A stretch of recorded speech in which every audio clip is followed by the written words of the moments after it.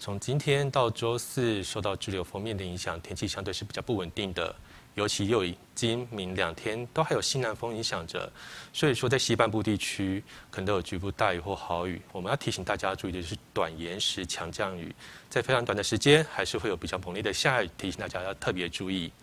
周五之后，封面逐渐的远离，周六之后开始大环境改变成西南风影响中南部，到时候还是要注意有一些下雨的机会。我们先从昨天到今天的累计雨量图来看，从昨天到今天，我们可以看到下雨比较明显的地区都还是在中南部地区，包含的屏东、南投、彰化、台南、高雄这些地区，都是过去下雨比较明显的地方。我们从县市的排名来看一下，第一名在屏东的春日有三百八十九毫米，第二名在台南都还算是南部地区，但第三、第四名就跑到中部的彰化跟南投。第五名在高雄的美浓区，也接近相当接近的三百毫米左右。这其实告诉我们，在过去西南风的影响之下，下雨都在中南部几率相对高，但是它集中的区域不太一定，不一定是针对南部或针对中部。这显示告诉我们，在这段期间，只要有一些中小尺度的对流系统发展起来的时候，在某些特定的区域，它就相对下的比较大。所以我们可以看到，第第二名在屏东跟台南之后，第三、第四名就来到彰化。跟南投这些地方，我们还是要提醒，因为封面是在我们台湾的上空，封面上面常常会有一些中小尺度对流系统发展起来，所以某些特定区域它下雨相对来说就大，这时候就会有短延时强降雨，气象局就会发布大雷雨资讯。我们从今天清晨到现在，我们针对南台湾发布了四则大雷雨即时讯息，其中有一则有一则还包括了细胞广播，就是告诉我们在那个时间之内，它的时雨量可能来到一百毫米。以今天清晨台南的关田就来到一百零六点五毫米的时雨量，所以我们我还是要提醒，今明两天受到这这个封面的影响的时候，像这种短延时强降雨还是要特别注意的。当然，我们从这个封面的结构上面可以看到，有的有些地方对流发展是比较强的，有些地方甚至还有出现空档的机会。所以我们从雷达回波图上面可以看得更仔细，比较强的对流，以目前的发展比较强的都是在台湾海峡这一带。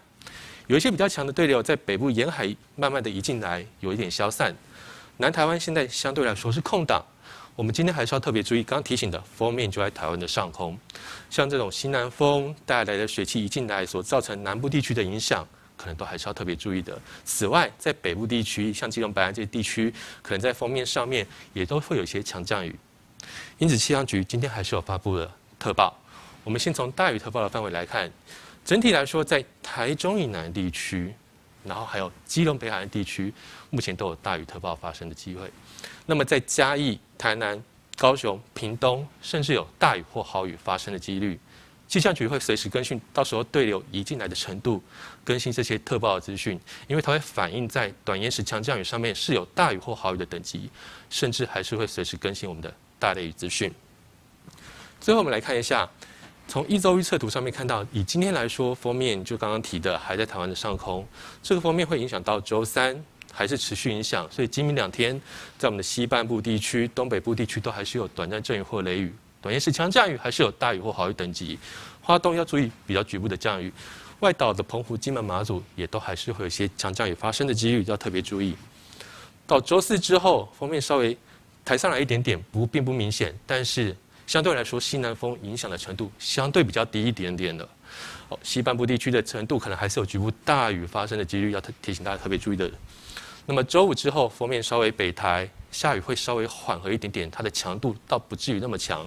紧接着，周周六之后，封面更远离了，到时候周六之后的大环境属于比较偏西南风的影响，中南部地区都还是要注意会有局部的短暂阵雨或雷雨的机会。北部。东半部地区会变得比较偏向午后雷阵雨的天气形态，温度也会在逐渐回升。在这段期间受到封面的影响的时候，一旦云多下雨的温度高温大概只有来到二十九到三十一度左右。一旦回到二十五号、二十六号周五、周六之后，这种封面远离，下雨比较缓和一点天气形态的时候，到时候在北部跟东半部的高温会回到三十三到三十五，中南部因为云量稍微偏多一点，高温大概在三十到三十二度左右。最后提醒大家，在今明两天，我们的苗栗以北、基隆北海岸，还有在我们的恒春半岛、绿岛、蓝屿跟马祖地区，可能都还有八到十级的强阵风。像这种海上强对流一进来的时候，有些下雨比较强的地方，也都会有一些较强阵风出现，提醒大家特别注意。